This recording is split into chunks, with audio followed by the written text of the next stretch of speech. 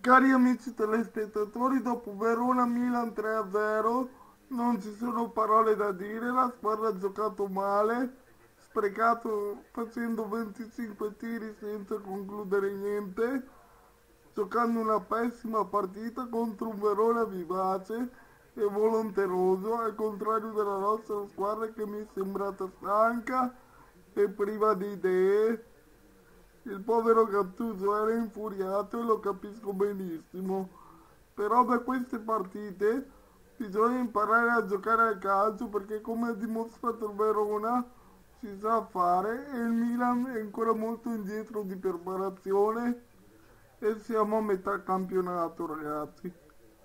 Non si può andare avanti così. Speriamo solo in bene e poi vediamo quello che succederà. Un abbraccio a tutti sempre Forza Milan. Ciao ciao.